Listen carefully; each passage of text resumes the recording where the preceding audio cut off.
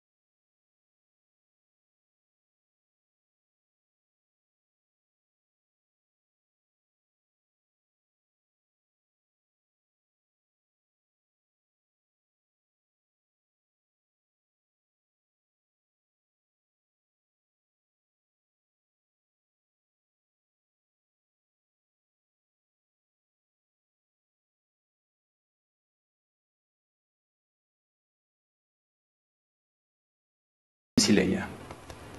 Это точно и однозначно прописано в мирных соглашениях. Жизнь и мир продолжаются. Спасибо за ваше внимание и ваш труд, дорогие россияне.